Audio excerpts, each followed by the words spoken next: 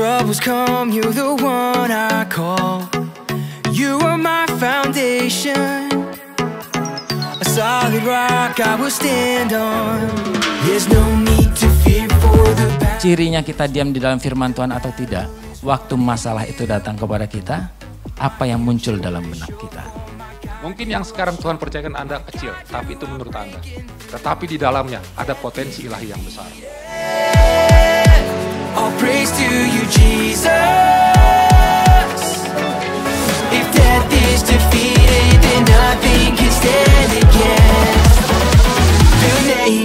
Jesus.